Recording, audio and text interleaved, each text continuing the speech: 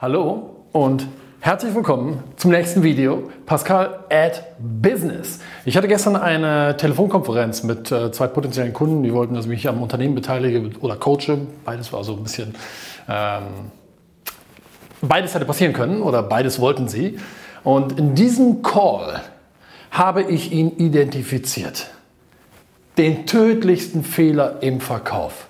Den hat nämlich dieser Typ begann, begonnen. Begangen? Egal. Hast du Bock drauf? Ich zeig's dir. Let's go.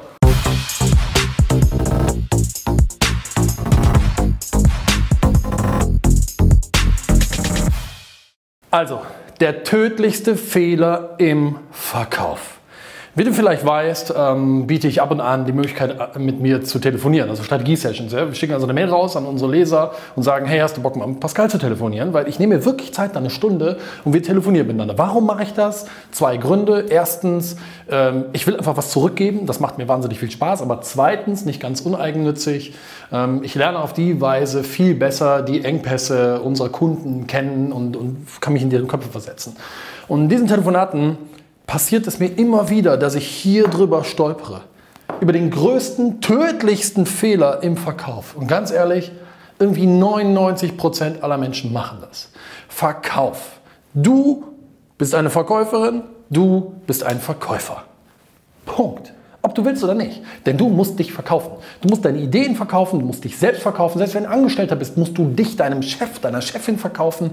Du, wenn du eine Partnerin oder einen Partner hast, hast du dich damals im sozusagen Verliebe-Anbandelprozess, hast du dich ja auch verkauft. Du bist ja nicht hingegangen und hast gesagt, weißt du was, ich bin der größte Trottel überhaupt, aber wäre doch cool, wenn wir trotzdem zusammen wären. Hast ja nicht getan, sondern du hast dich verkauft. Also jeder verkauft sich. Basta. Ganz einfach. Der tödlichste Fehler im Verkauf ist aber der folgende. Im Verkauf treffe ich immer wieder Menschen, die sagen, ja, ich konzentriere mich auf die Leute, das ist meine Zielgruppe, die Interesse an meinem Produkt oder meiner Dienstleistung haben. Die will ich haben. Die sind spannend für mich. Und dann glauben die, wisst ihr was? Die, wenn wir die haben, die machen wir dann zu denen hier. Denn da konzentrieren wir uns dann auf die, die kaufen wollen. Also Schritt 1 sagen die, ja, ne, wir legen vorne los und suchen die, ähm, die Leute, also sie oder er hat Interesse an meinem Produkt oder meiner Dienstleistung. Für die mache ich mein Marketing. Hat Interesse an meinem Produkt oder meiner Dienstleistung. Und dann Nummer zwei, aus denen herausfiltere ich dann die, ähm, die kaufen wollen. Ja, und das sollten möglichst viele sein, weil dann machen wir viel Umsatz und dann kaufe ich mir ein Ferrari. So, das war ganz platt ausgedrückt, ja.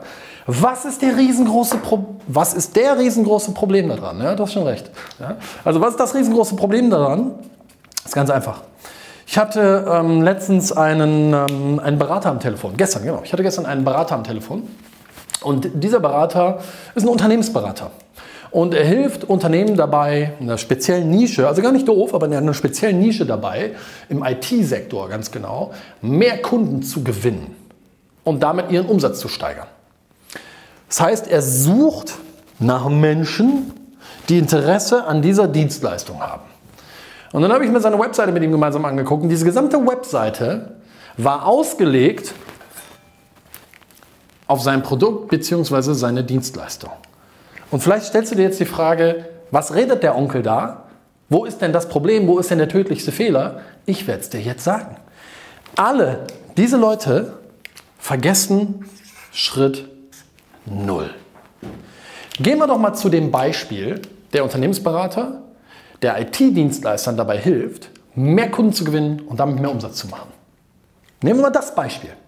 Kannst du dir vorstellen, dass es in dieser Republik einen IT-Unternehmer gibt oder eine IT-Unternehmerin, die steigt heute Abend ins Bett, deckt sich schön zu, ja, macht noch ein Bibi Blocksberg Hörspiel an, damit sie schön einschlafen kann, am nächsten Morgen wacht sie auf, liegt im Bett, wacht auf und denkt sich, ich brauche einen Dienstleister, der mir hilft, mehr Kunden und mehr Umsatz zu gewinnen. Einen speziellen Unternehmensberater für IT-Dienstleister. Glaubst du, das passiert? Ich habe die Antwort für dich. Nein, das passiert nicht. Warum nicht? Hier kommt die nackte Wahrheit.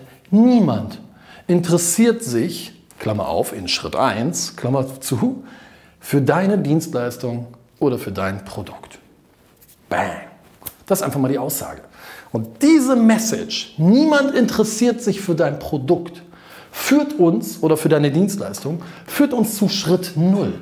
Und das ist der tödlichste Fehler, den aber 99% aller Menschen, die ich zumindest treffe, und es sind nicht so wenige, die ich treffe, machen. Die konzentrieren sich nur hier drauf, die lassen Schritt Null raus. Was ist Schritt Null? Naja, das mache ich in meinen Unternehmen. Ich konzentriere mich auf die Leute, die sagen, ich habe ein Problem oder einen Engpass. Ja? Oder ich bin interessiert, interessiert an folgender Lösung. Lösung. Was ich nämlich hier mache, ist ganz einfach. Ich konzentriere mich in meinen Unternehmen, egal ob im Dienstleistungsunternehmen oder im Versandhandel, nicht auf das Produkt, nicht auf die Dienstleistung, sondern ich konzentriere mich auf die Lösung, die meine potenziellen Kunden suchen und auf den Nutzen, an dem sie interessiert sind. Und das ist ein Riesenunterschied. Denn 99% aller Menschen, aller Unternehmerinnen und Unternehmer sind dienstleistungs- oder produktzentriert und denken dienstleistungszentriert. Und das ist der größte Haufen Scheiße, den du machen kannst. Weil morgens früh einfach keiner aufsteht und sagt, ich brauche einen Unternehmensberater spezialisiert auf die IT-Dienstleistungsbranche, der mir hilft, mehr Kunden zu gewinnen. Damit wacht keiner auf. Wirklich nicht. Der Pain Point ist das, womit die Leute aufwachen. Ich habe ein Problem, einen Engpass. Deshalb versetze ich mich in den Kopf meiner Kunden, überlege, wo brennt denen der Kittel? Was haben die echt für ein Problem? An welcher Lösung sind sie interessiert? Es ist niemand an der Dienstleistung, ich berate IT-Unternehmen interessiert. Da ist keiner dran interessiert. Wo die Leute dran interessiert sind, sind hier mehr Cash in the Tash. Die wollen mehr Geld haben. Die wollen mehr Kunden haben. Das ist der Kittelbrennfaktor. Kittelbrennfaktor übrigens ein tolles Wort, was ich von einem ähm, sehr, sehr geschätzten Trainer gelernt habe, nämlich Edgar Geffroy. Nur mal, dass du es gehört hast. Das heißt also, Schritt Null. Und das ist das, was du tun solltest in deinem Online-Business, mit deinem Produkt. Ob du ein Produkt hast, eine Dienstleistung, Versandhandel, E-Commerce, egal was, B2B, B2C, es ist völlig wurscht, wo du unterwegs bist. Dein Step Null muss sein, deine Web Webseite, deine Werbeprospekte sollten sich bitte nicht auf deine Dienstleistung konzentrieren. Was du machst jeden Tag, darauf ist deine Mami und deine Oma und dein Opa diesen Tag stolz drauf. Aber der Kunde nicht. Den interessiert What's in it for me. Du hörst das von mir immer wieder in meinen Videos. Warum? Weil es so wichtig ist. Und weil das der Unterscheidungspunkt ist, wo Unternehmen abheben oder eben nur vom Umsatz her so vor sich her dümpeln. Ja? Und in dem Moment, wo du dein Marketing hierauf konzentrierst, ist das ein echter Game Changer. Ja? Weil hier findet das richtige Abholen statt. Und das ist so wichtig, abholen. Du musst deine Leute abholen, damit die anfangen zu nicken und sagen, oh, die hat mich aber kapiert, der hat mich aber verstanden, weil dann tragen sie sich ein. Dann finden sie dich spannend. Glaubst du, die finden deine Dienstleistung spannend? Nee. Die finden die Ergebnisse spannend, die du für sie erreichst. Aber doch nicht deine Dienstleistung, doch nicht dein Produkt. Ja? Da musst du dich drauf konzentrieren. Hier auf den Schritt. Und das hier, alles klar, das kommt dann nachgelagert aber bitte erst hinterher. Und der Fehler ist, 99% aller konzentrieren sich nur darauf. Die lassen das außer Acht. Und das, meine Lieben, ist aus meiner Sicht der tödlichste Fehler im Verkauf.